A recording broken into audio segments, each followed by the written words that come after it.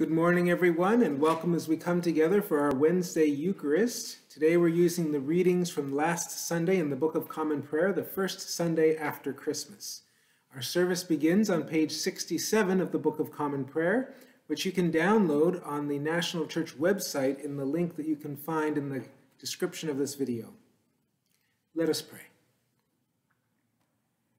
Our Father, who art in heaven, hallowed be thy name. Thy kingdom come, thy will be done on earth as it is in heaven. Give us this day our daily bread, and forgive us our trespasses, as we forgive them that trespass against us. And lead us not into temptation, but deliver us from evil. Amen.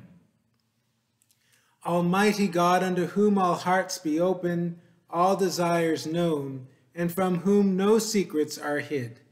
Cleanse the thoughts of our hearts by the inspiration of thy Holy Spirit, that we may perfectly love thee and worthily magnify thy holy name, through Christ our Lord. Amen.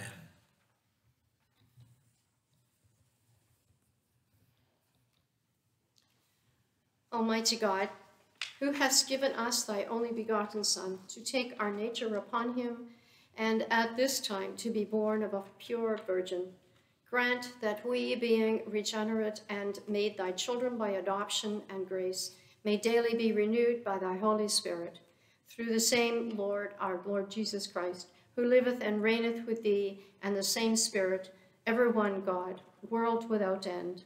Amen. Amen.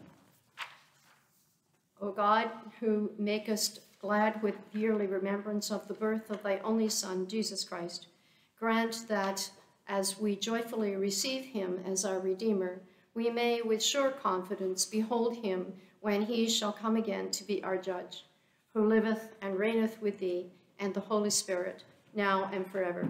Amen. Amen.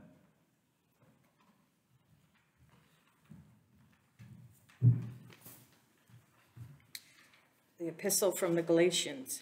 Now I say that the heir, as long as he is a child, differeth nothing from a servant, though he be Lord of all, but is under tutors and governors until the time appointed of the Father. Even so we, when we were children, were in bondage under the elements of the world. But when the fullness of the time was come, God sent forth his Son, made of a woman, made under the law, to redeem them that were under the law, that we might receive the adoption of sons. And because ye are sons, God hath sent forth the Spirit of his Son into your hearts, crying, Abba, Father. Wherefore thou art no more a servant, but a son, and if a son, then an heir of God through Christ. Here ends the first lesson.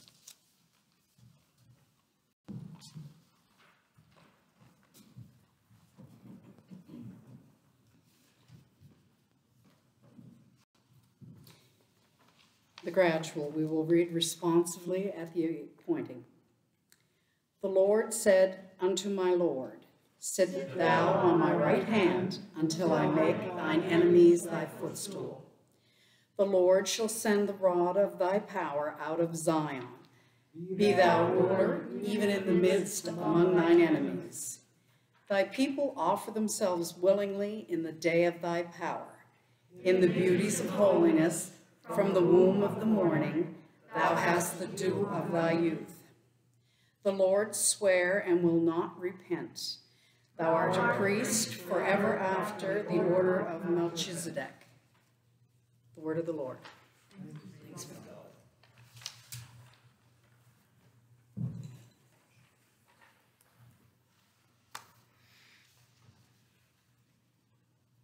The Holy Gospel is written in the first chapter of the Gospel according to St. Matthew, beginning at the 18th verse. Glory be to thee, O Lord. The birth of Jesus Christ was on this wise.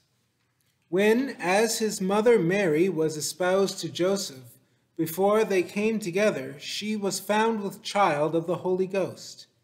Then Joseph, her husband, being a just man, and not willing to make her a public example, was minded to put her away privily.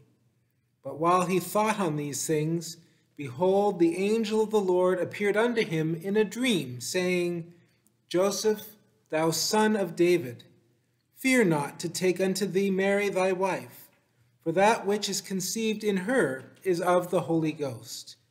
And she shall bring forth a son, and thou shalt call his name Jesus, for he shall save his people from their sins. Now all this was done that it might be fulfilled which was spoken of the Lord by the prophet, saying, Behold, a virgin shall be with child, and shall bring forth a son, and they shall call his name Emmanuel, which being interpreted is God with us. Then Joseph, being raised from sleep, did as the angel of the Lord had bidden him, and took unto him his wife, and knew her not till she had brought forth her firstborn son, and he called his name Jesus. Praise be to thee, O Christ.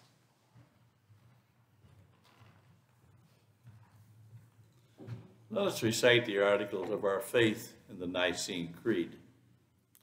I believe in one God, the Father Almighty, maker of heaven and earth, of all things visible and invisible, and in one Lord Jesus Christ, the only begotten Son of God, begotten of the Father before all worlds, God of God, light of light, very God of very God, begotten, not made, being of one substance with the Father, through whom all things were made, who for us and for our salvation came down from heaven, and was incarnate by the Holy Ghost of the Virgin Mary, and was made man, and was crucified also for us under Pontius Pilate. He suffered and was buried, and the third day he rose again, according to the Scriptures, and ascended into heaven, and sitteth on the right hand of the Father. And he shall come again with glory to judge both the quick and the dead, whose kingdom shall have no end. And I believe in the Holy Ghost, the Lord, the giver of life, who proceedeth from the Father with the Son, who with the Father and the Son together is worshipped and glorified, who spake by the prophets. And I believe one holy Catholic and Apostolic Church. I acknowledge one baptism for the remission of sins, and I look for the resurrection of the dead and the life of the world to come. Amen.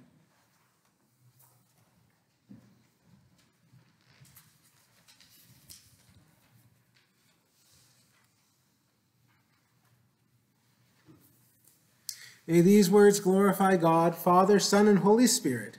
Amen. For our reflection this morning, we're taken to the gospel lessons of the time of Joseph being visited in a dream by an angel and learning about Mary. What I wanted to talk about today is how different our Christmas stories really are. We are all accustomed, I think, to imagining a nativity scene that has probably a little wooden box with hay in it and a little baby laid there with Mary and Joseph on either side, inside of a stable, a barn looking building, usually with an angel on top or maybe a star. And then we have three wise men off on one side and perhaps some shepherds and sheep off on the other. It's a very familiar scene, and most of us have it in our homes. But it's actually a weaving together of two very distinct stories. And I think that's important for people to understand is that the Christmas story that we hear is very different in Luke's gospel than it is in Matthew's gospel, and for two very important reasons. These gospels are writing to bring forth the themes that they're going to be talking about throughout all of the gospel. It really isn't as concerned about the actual historical life of Jesus. In fact, we don't know much about the actual historical birth of Jesus what we know are these two stories that are distinct. We only have them in Matthew and in Luke. Mark makes no mention of the birth, and John's mention of the birth is no more than the Word became flesh and lived among us. And immediately we jump into John the Baptist. Mark jumps into John the Baptist right away, which signifies something important that for those two gospel writers, that's where the critical message begins. But Matthew and Luke provide a little more context to begin their Gospels. So in Luke's Gospel, as I mentioned before, we have the theme of Mary being the one that talks with the angel. It is through a woman that God's message of salvation is revealed and fulfilled. It's also shepherds who are in the fields, working class people who hear the song of the angels and come to worship. What most of you may not realize is that if you carefully read Matthew's gospel, those elements are not there. There are no shepherds, there, there is no angel coming to Mary. It's Joseph dreaming. It's magi who follow a star.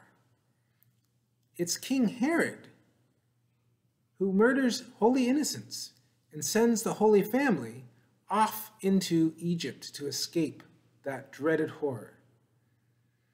Each of the Gospels, in this case, are using themes in their Christmas story that are bringing forth theological truths that they are expounding in the rest of the Gospels. How they understand Jesus' life and ministry made a difference in the world.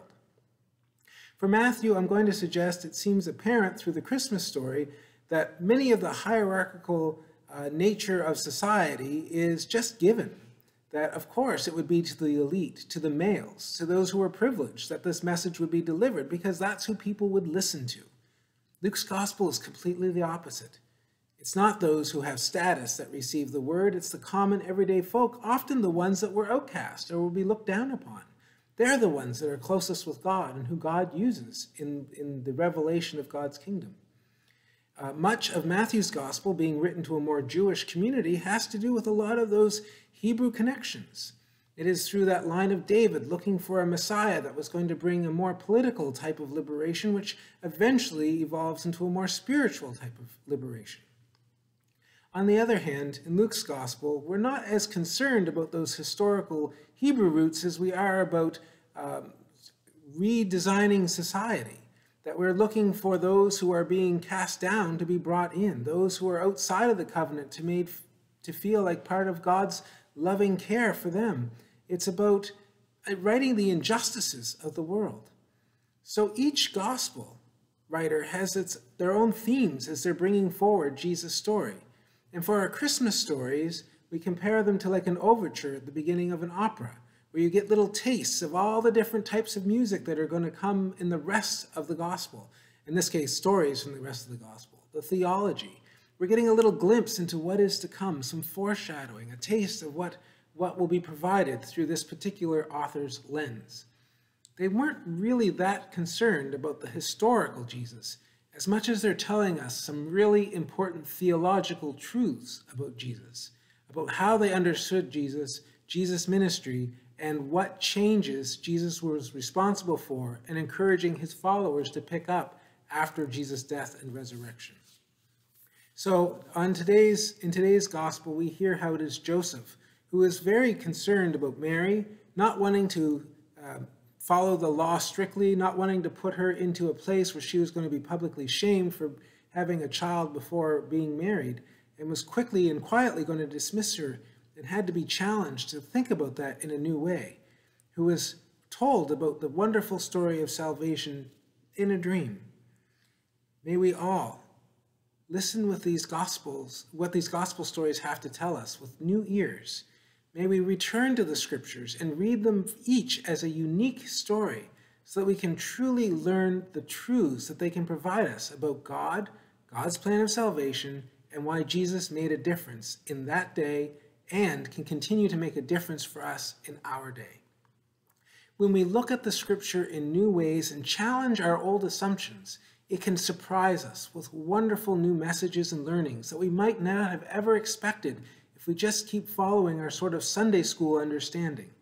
When we really engage Scripture, wrestle with the truths that are there, and start to question our assumptions, we can be richly rewarded and can start to really understand what the authors were trying to get across to us in these stories. We're not watching an A&E biography on Jesus. We are going much, much deeper understanding who Jesus is in the eyes of a community who fell in love with his story and worshiped him as the Son of God. Brothers and sisters, you know the grace of our Lord Jesus Christ, that though he was rich, yet for your sakes he became poor, that you, through his poverty, might become rich.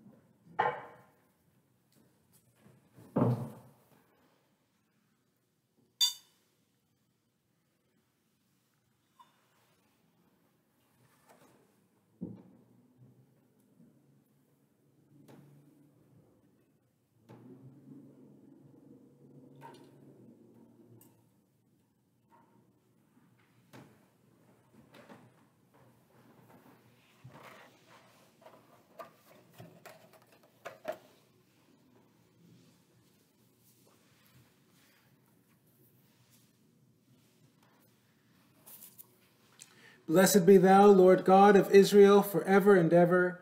All that is in the heaven and in the earth is thine. All things come of thee, and of thine own have we given thee. Let us pray for Christ's holy Catholic Church.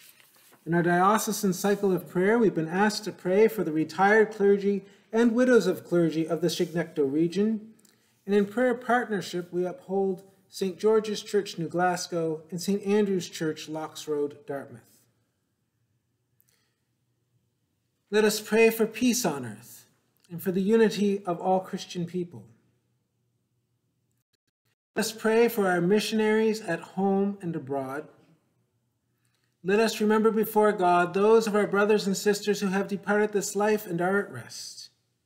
We pray for the soul of the late Edith Ebsary mother of the Reverend Edwin Ebsary, who died on Christmas Day.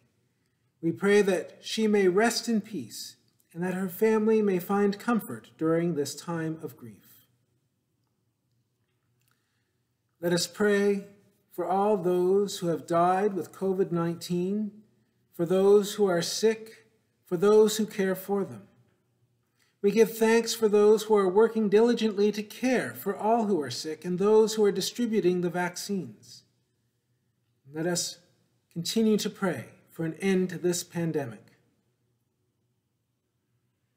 And let us pray for the whole state of Christ's Church militant here in earth.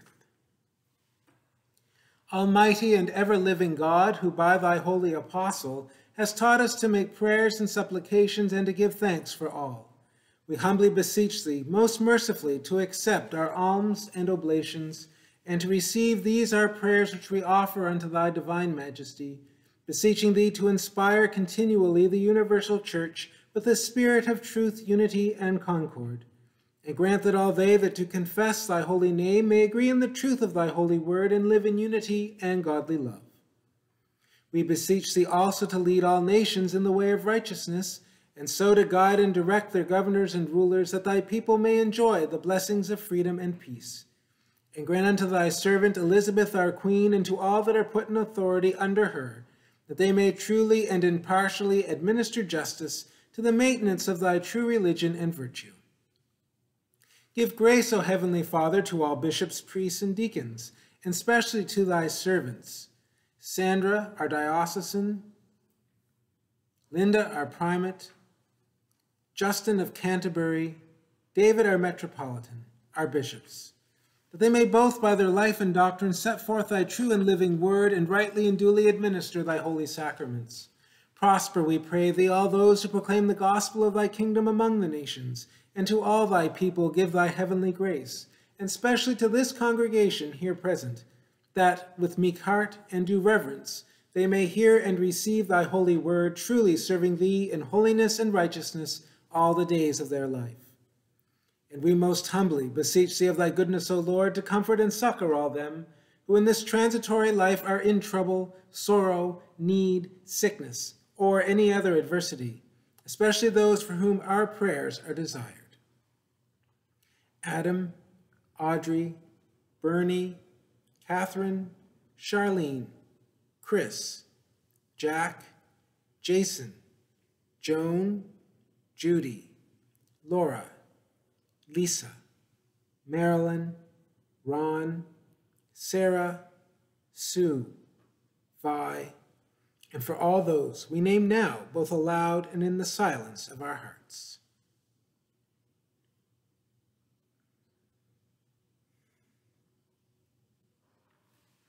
We remember before thee, O Lord, all thy servants departed this life in thy faith and fear, and we bless thy holy name for all who in life and death have glorified thee, beseeching thee to give us grace that rejoicing in their fellowship we may follow their good examples and with them be partakers of thy heavenly kingdom.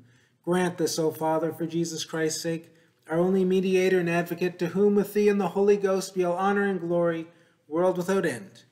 Amen. Ye that do truly and earnestly repent you of your sins and are in love and charity with your neighbors, and intend to lead the new life following the commandments of God and walking from henceforth in his holy ways. Draw near with faith and take this holy sacrament to your comfort and make your humble confession to Almighty God. Almighty God, Father of our Lord Jesus Christ, maker of all things, judge of all we acknowledge and confess our manifold sins and wickedness, which we from time to time most grievously have committed, by thought, word, and deed, against thy divine majesty. We do earnestly repent, and are heartily sorry for these our misdoings. Have mercy upon us, most merciful Father, for thy Son, our Lord Jesus Christ's sake. Forgive us all that is past, and grant that we may ever hereafter serve and please thee in newness of life, to the honor and glory of thy name, through Jesus Christ our Lord. Almighty God, our heavenly Father, who of his great mercy hath promised forgiveness of sins to all them that with hearty repentance and true faith turn unto him, have mercy upon you pardon and deliver you from all of your sins, confirm and strengthen you in all goodness, and bring you to everlasting life.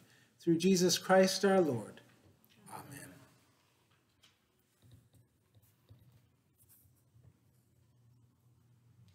Hear what comfortable words our Savior Christ saith unto all that truly turn to him. Come unto me, all that labor and are heavy laden, and I will refresh you. God so loved the world that he gave his only begotten Son, to the end that all that believe in him should not perish, but have eternal life. Hear also what St. Paul saith. This is a true saying, and worthy of all to be received, that Christ Jesus came into the world to save sinners. Hear also what St. John saith. If anyone sin, we have an advocate with the Father, Jesus Christ the righteous, and he is propitiation for our sins.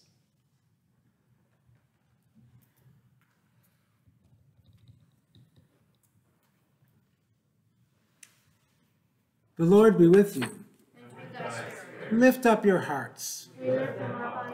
Let us give thanks unto our Lord God.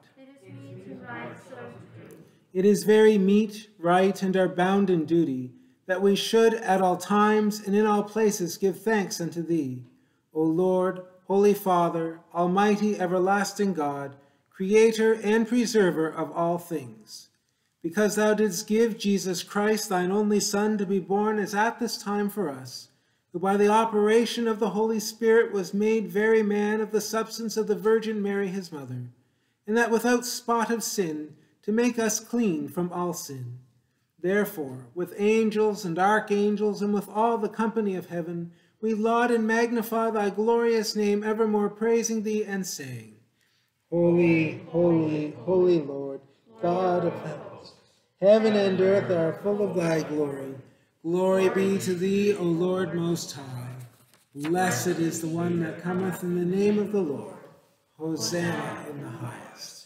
Blessing and glory and thanksgiving be unto thee, Almighty God, our heavenly Father, who of thy tender mercy didst give thine only Son, Jesus Christ, to take our nature upon him, and to suffer death upon the cross for our redemption, who made there by his one oblation of himself once offered a full, perfect, and sufficient sacrifice, oblation and satisfaction for the sins of the whole world, and did institute and in his holy gospel command us to continue a perpetual memorial of that his precious death until his coming again. Hear us, O merciful Father, we most humbly beseech thee, and grant that we receiving these thy creatures of bread and wine, according to thy Son, our Saviour Jesus Christ's holy institution, in remembrance of his death and passion, may be partakers of his most blessed body and blood, who in the same night that he was betrayed took bread, and when he had given thanks, he brake it and gave it to his disciples, saying, Take, eat. This is my body, which is given for you. Do this in remembrance of me.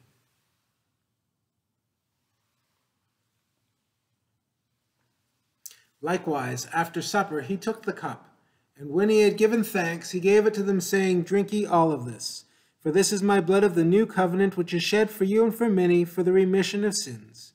Do this as oft as ye shall drink it in remembrance of me.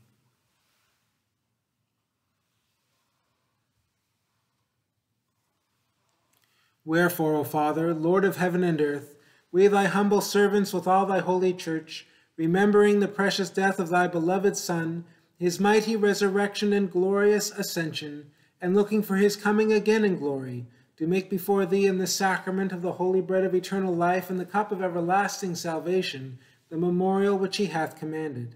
And we entirely desire thy fatherly goodness mercifully to accept this our sacrifice of praise and thanksgiving most humbly beseeching thee to grant that by the merits and death of thy Son, Jesus Christ, and through faith in his blood, we and all thy whole church may obtain remission of our sins and all other benefits of his passion. And we pray that by the power of thy Holy Spirit, all we who are partakers of this holy communion may be fulfilled with thy grace and heavenly benediction. Through Jesus Christ our Lord, by whom and with whom in the unity of the Holy Spirit, all honor and glory be unto thee, O Father Almighty, world without end.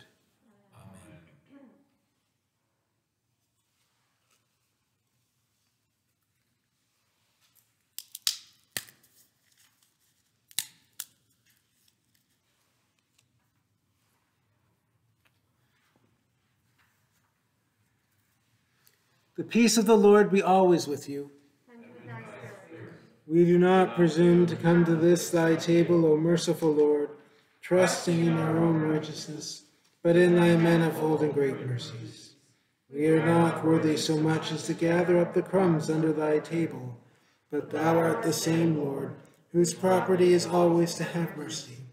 Grant us, therefore, gracious Lord, so to eat the flesh of thy dear Son, Jesus Christ, and to drink his blood, that our sinful bodies may be made clean by his body, and our souls washed through his most precious blood, and that we may evermore dwell in him, and he in us.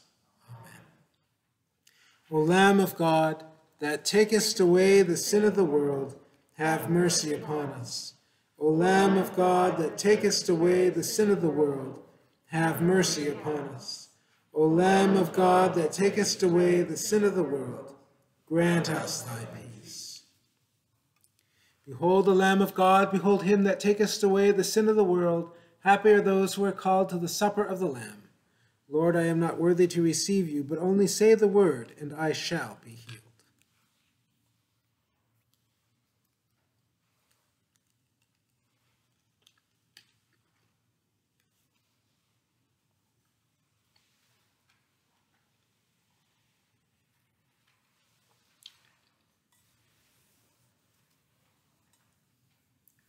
For those of you who are watching at home and cannot be with us in person and would like to partake in spiritual communion, there is a prayer that you can find in the description of this video that you can say while those who have gathered for this recording receive the Holy Eucharist.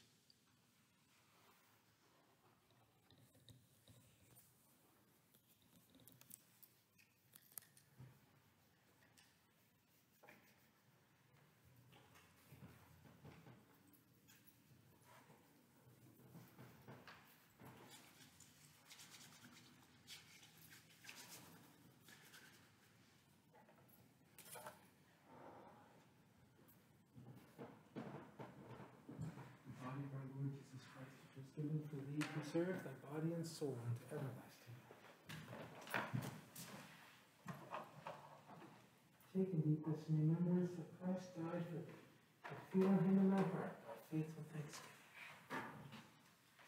Body of our Lord Jesus Christ, which was given for thee, preserve thy body and soul unto everlasting life. Take and eat this in remembrance that Christ died for thee. And feel him in thy heart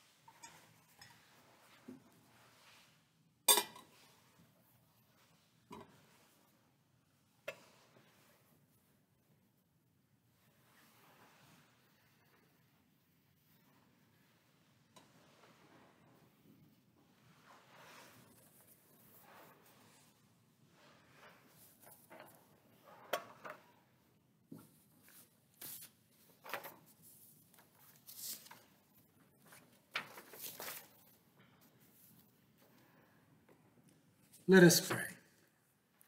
Our Father, who art in heaven, hallowed be thy name. Thy kingdom come, thy will be done on earth as it is in heaven. Give us this day our daily bread, and forgive us our trespasses, as we forgive them that trespass against us. And lead us not into temptation, but deliver us from evil. Thine is the kingdom, the power, and the glory, forever and ever. Almighty and ever living God, we most heartily thank thee that thou dost graciously feed us in these holy mysteries with the spiritual food of the most precious body and blood of thy Son, our Saviour, Jesus Christ, assuring us thereby of thy favor and goodness towards us, and that we are living members of his mystical body, which is the blessed company of all faithful people, and are also heirs through hope of thy everlasting kingdom. And here we offer and present unto thee, O Lord, ourselves, our souls and bodies, to be a reasonable, holy, and living sacrifice unto thee. And although we are unworthy, yet we beseech thee to accept this our bounden duty and service, not weighing our merits, but pardoning our offenses. Through Jesus Christ our Lord, to whom with thee and the Holy Ghost be all honor and glory, world without end.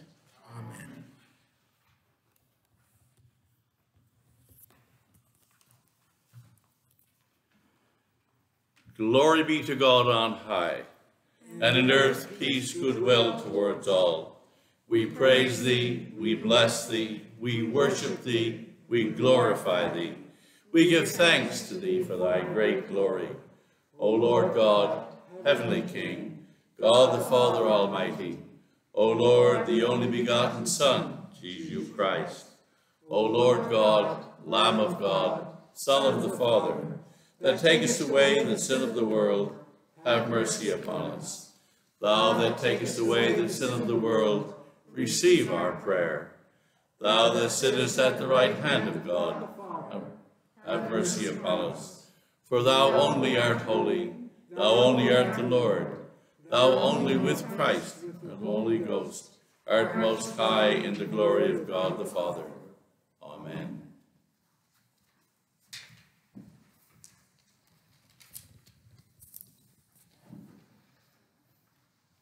The peace of God that passes all understanding, keep your hearts and minds in the knowledge and love of God and of his Son, Jesus Christ our Lord. And the blessing of God Almighty, the Father, the Son, and the Holy Ghost be amongst you and remain with you always. Amen. Please be seated for announcements. This is our last worship of 2020. I don't know about you, but I'm feeling more hopeful for 2021 with the news of vaccines and such. I know it's not just instantly going to disappear on January 1st, but I'm really feeling much more hopeful than I would have even a month ago. So um, I hope we can dwell in that joy and that hope for the rest of next year. Um, there are some things to announce. One is another error was found in the list of uh, thank yous and dedications and memorials. This one was concerning, I believe, the flowers. Um, Frida Wyatt is what it was supposed to read. The A was left off, it became Fred. So Frida Wyatt, in whose memory a gift was made. So I do apologize for that error. It was corrected in the um, corrections that were sent out on Sunday, uh, but it didn't get announced at the service. It wasn't uh, uh, revealed until after that service was over. Uh, also, you should know that tomorrow, Wednesday, oh, sorry, on Wednesday, we will be drawing at 1 o'clock for the uh, raffle for the Clearwater gift card. And we're going to attempt to do it uh, via live streaming from our parish office. So sometime after lunch tomorrow, hopefully in and around 1 o'clock, you might get a notification on either YouTube and or Facebook uh, to join us for that drawing um, for the fundraiser.